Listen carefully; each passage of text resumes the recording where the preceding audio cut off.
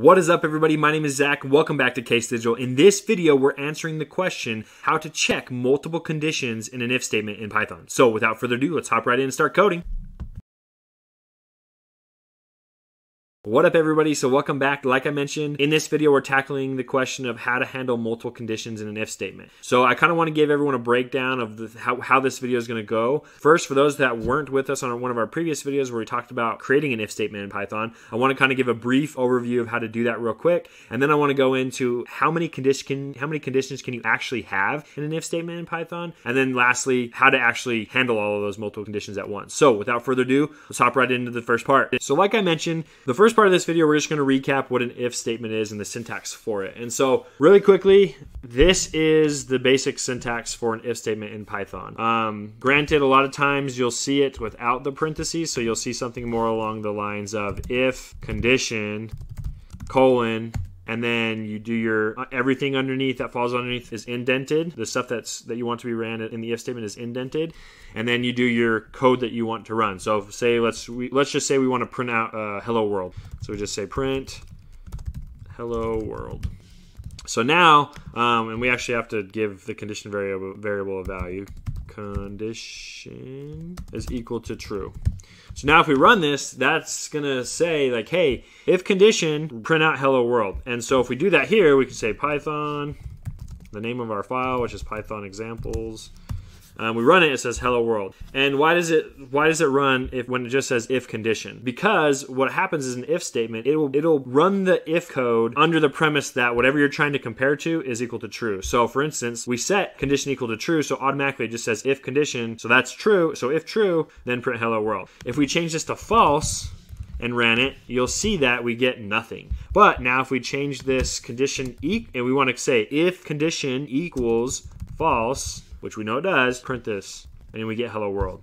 Um, if we change the condition value back to true, we'll see that this this boolean uh, this uh, boolean logic or this out, out, this logic here is not true because true does not equal false because that's what we're substituting with that variable and so it won't run. So that's our recap on what an if statement is in python and how to create one in python. Okay so we just recapped how to create an if statement in python. We've gone over the syntax the keywords how it all how it all looks and what how it performs. So now let's uh, before we dive into how we can combine multiple if if statements. Now we can check multiple if statements um, in Python. Let's first answer the question of how many conditions are allowed in an if statement. And I think this is really key because, for instance, the technical answer is one. Now, before you turn off the video and think I'm crazy, let me answer why. The reason being is an if statement is basically just evaluating some Boolean algebra expression, whether that's just checking a flag like we did here, whether it's true or false, or if you want to do something where it's like checking in between, say, uh, for example, checking if someone's age is between between one value or another. So let's have that example. So I can have, I can break this question out. So say we have a person who's 20 and we want to see if they're above 18 or if they're um, 21 or below. And essentially how you do that is you can say, um, hey, condition one, is this person above or equal to 18? Okay, perfect. Condition two, is this person below or equal to 21? Now, that's all fine and, and, and good. And if we run these, we'll see that um, I can I can do a uh, condition one, and I can say um, we'll just have it print the age. So if I say Python, Python examples, I run this, we'll see that we got it. It printed out 20. And that's because, well, condition one is true, like I stated here, because 20 is greater than or equal to 18. Now, well, okay, that's one condition. Let's go to the other one. We try that. And if I print this, again, I get the age because 20 is less than or equal to 21. Well, technically, we wanted to che check the, um, we wanted to check to see if a person is between an age. And each of these individual conditions um, are great, but they're only half of the problem. So you have to kind of make them, you have to kind of combine them, like we did in condition three, to see if they are true. And whether you're just putting in variables like this, or you're actually writing out this whole thing you can see that technically I'm only putting in one Boolean algebra expression into an if statement and it's evaluating it. That Boolean algebra expression though may have multiple parts or conditions to it, but technically I'm only putting in one condition into an if statement. So let's dive into this here in a sec on how you can handle multiple conditions in an if statement. Hey, I just want to jump in real quick say thank you so much for watching the video so far. If it's providing you value, please click that like button below. And if you haven't already, please subscribe to my channel so we can learn more about software development and programming. And well, speaking of programming, let's get right back to it. I know that is probably kind of blowing your mind that you technically only can have one condition in an if statement. But let's talk about what you're really asking is when you ask the question of how can I combine um, or how can I check multiple conditions in an if statement, there's essentially two ways you can go about this. There's, like I mentioned before, you can combine them all into one like this. You can essentially say, hey, like, let me create, um, let me have this condition and this condition, and and then how do I combine it? Well, you're combining it through the use of and and or, and usually or. So you can also do or here.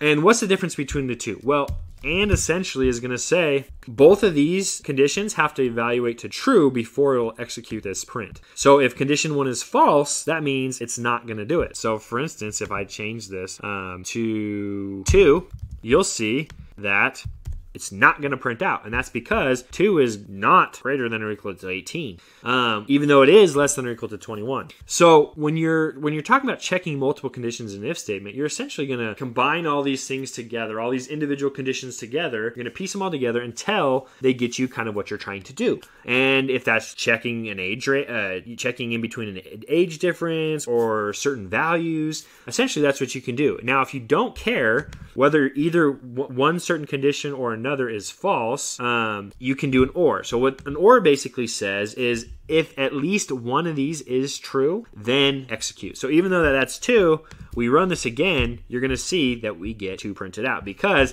it didn't meet condition one, but it did meet condition two, so we're to print it. And you could do this multiple different ways. Um, you can do another AND here with like condition, condition number five, and then an OR. And that could get pretty complicated. And what a lot of times people will do is essentially, this is kind of where if parentheses and if statements come in, where you'll do this type of thing. Like, hey, like, as long as one of these are true and that meets that matches um, this condition say six then i want to then i want to do this you know print this out. That's that's pretty much how you check multiple conditions and if statements. Another way people go about it a lot of times people go about it this way. They put it all on one on the first initial condition. Sometimes though that that can get kind of complicated um, or can kind of get confusing because you're looking at it and be like oh condition one or two and this and this and how does this all work together and, and blah blah blah a lot of times what people can do as well is you can do if condition one then what people will do, they'll do what's called a nested if. And you'll say if condition two. So if both of these true evaluated, then then print this out. And as you can see here, we didn't get anything printed out. And that's because this is the same thing as doing this right here. So this, um, excuse me, this these lines 10 through um, 13 are the same as if you just did if condition 1 and condition 2 print h. Now, if we ran this again, you're going to see that nothing happens. And that's because two is doesn't match this condition, and since we're using an and here that says, well, it doesn't, both of them are not going to be true, so no use in evaluating this one. Go on. And that's the same thing down here. It says this is false, so we that's not what we wanted, so go down. And then if this goes to 20 though, you see that we get age printed out twice. And that's because this is true, this is true, based off of up here. And what happens down here is it goes, okay, condition one, age is greater than or equal to 18. Age is 20. So yes, that's true. Okay, next line. Oh, we're gonna we hit another if statement. So let's evaluate that.